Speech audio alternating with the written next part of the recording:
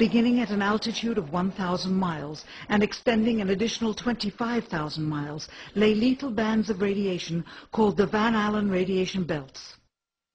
Every space mission in history with humans on board, from both the United States and Soviet Union, from the first in 1961 to the present, has been well below this deadly radiation field.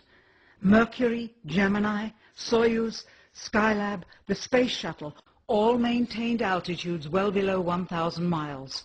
All except Apollo. In 1998, the Space Shuttle flew to an altitude of 350 miles, one of its highest altitudes ever, hundreds of miles below the beginning of a field of radiation that was so severe that the astronauts inside of their shielded spacecraft and inside of their shielded spacesuits saw flashes of light with their eyes shut that they described as shooting stars due to radiation penetrating first the shuttle's shielding, then their spacesuit shielding, then their skulls, and finally the retinas of their closed eyes.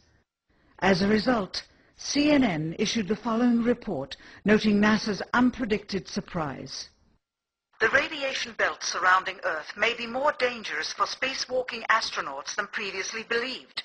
Scientists say the phenomena known as the Van Allen belts can spawn killer electrons when the Earth's magnetic field changes.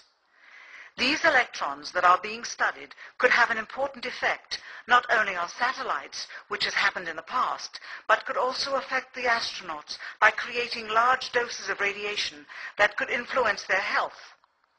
The electrons can penetrate through various materials, including spacesuits, and can pass through, in fact, the walls of the space station and can create high charges deep inside of these objects.